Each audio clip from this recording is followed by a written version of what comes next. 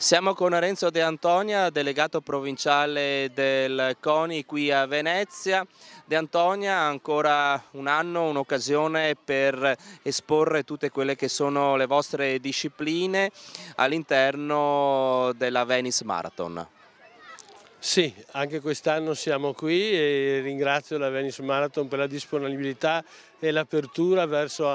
tutto lo sport in generale e non solo per quanto riguarda la corsa eh, campestre e l'atletica in generale. Beh, credo che le imprese che immagino abbiate fatto qui intorno e vedere quanti bambini ci sono che provano eh, lo sport beh, siano già di per sé significative dell'importanza di questa manifestazione. Eh, in realtà è, è, per questo che i coni provinciali lavorano, per promuovere lo sport e per far sport ai bambini soprattutto.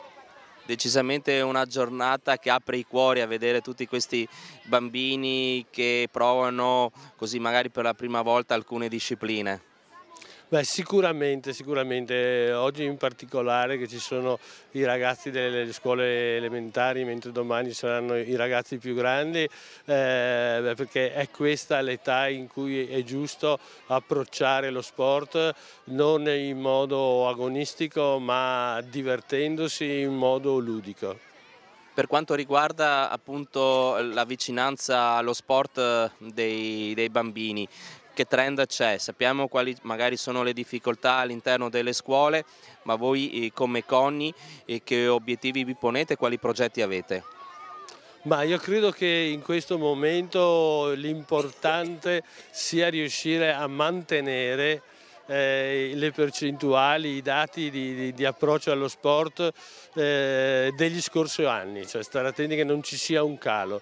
perché dobbiamo fare una considerazione su 25 miliardi di euro che è il business complessivo dello sport, 22 quindi quasi tutto viene pagato dalle famiglie ed è chiaro che nel momento in cui le famiglie sono in difficoltà eh, anche le, le spese per lo sport diventano importanti per una famiglia.